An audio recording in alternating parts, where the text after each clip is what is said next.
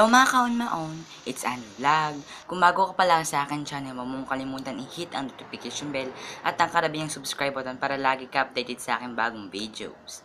So, simulan na natin! I-like and i-share nyo din ang aking video para lagi kayong updated sa aking bagong video. Okay, so nakikita niyo naman po sa aking title na aking gagawing vlog is How to Care Your Cane Plant. Okay, so madali lang po yan. First, meron po ako ditong dam cane. Ayan po siya. Yan ang dam cane. Nakatanim po yan sa lupa. Tapos, so, kung mag-aalaga po kayo ng dam cane, make sure po siya na itatapat niyo po sa araw, mahahanginan po siya, madidiligan siya. Sa akin po kasi itong dam cane, na, dam cane ko na to, two times a day ko po siyang dinidiligan sa isang araw. Two times a day siguro. Umaga, tapos hapon. Mga alas 3, alas, alas 5, ganon, ganon.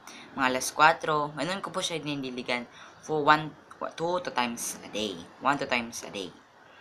Tapos, mag-alaga po kayo. Sa akin kasi, dito ko lang muna siya nilalagay kasi wala pa akong lalagyan ng malaking paso. Kaya diyan ko nilalagay. Pero mas maganda naman kung malaking kung sa malaking paso nyo po siya ilalagay para mas maganda at malaki ang kakapitan ng kanyang ugat. So, sa akin, wala pa akong paso.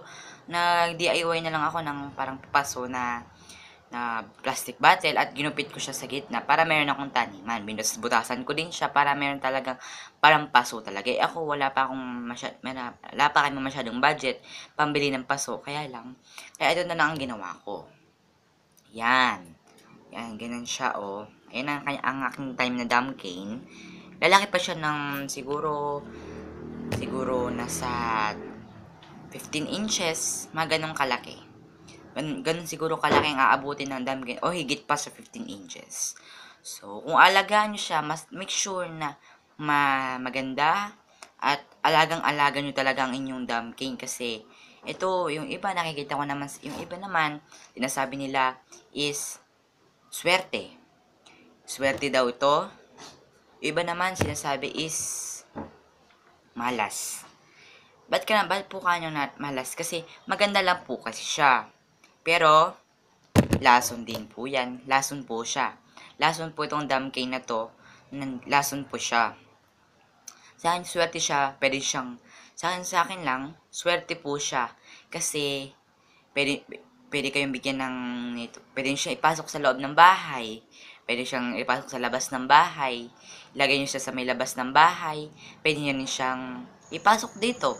Parang pampaganda. Tapos, swerte pa, o diba? Nagkakaroon pa kayo maraming maraming pera dito. Kasi sa aking pag-aalaga kasi ng dam cane is, aking pag-aalaga ng dam cane ay araw-araw ko siyang tinitignan. Siguro nasa 4 to times, 1 to 4 times a day ko siyang tinitignan sa isang araw kasi gusto kong inaalaga-alaga ito kasi marami pa akong halaman ipapakilala sa inyo. Ayun ang mga halaman na yon Papakilala ko sa, sa inyo lahat ang aking mga halaman. At ito namang dam cane na to is dumadami siya. Kung gugupit, kung gusto nyo padamihin, gupipit lang kayo ng sanga niya o sanga ng dam cane, tapos gupitin nyo, itanim nyo sa isang paso, diligyan nyo. Siguro nasa isang linggo lang, meron na siyang ugat. Madali lang tumubo ang aking dam cane. Mabilis lang tumubo ang aking dam cane ito, mabilis lang po siyang tumubo. Kaya yan, ito kasi, wala kami, wala talaga kami noon dating tanim na dam cane. Nanghingi na lang kami sa aming kapitbahay Nanghingi na lang kasi meron silang tanim na damkin. Nanghingi na lang po ako sa kanila para dumami. Pero at least meron kaming tanim. Kung ano, kung gusto niyo kung gusto ko pang padamihin, ikakat ko na lang siya sa may sanga niya. Tapos, yun, tatanim ko na sa lupa. Para lang normal lang na halaman. Yung, yung dati kong pinakalala sa inyo, yung ganon, yung may ganon siya. Ito siya, yung, yung patak dugo. Ayan siya, patak dugo. Ayan yung patak dugo na yan, patak dugo. Yung patak dugo na yun is, mabilis lang po talagang tumubo yun. Katulad din siya ng dam cane. Kaya lang ito, yung patak dugo kasi, kung buka, kung ngayon, gugupitin nyo yung dahon, yung sanga niya, tanim nyo sa lupa, 1 to 4, 4 time, 1 to 4 day lang. 4 siguro, mga 1, 4 days lang. 4 days lang siya tutubo na, magkakaroon na siya ng, ng ugat, yung, yung patak dugo na sina, nung nakala kong videos.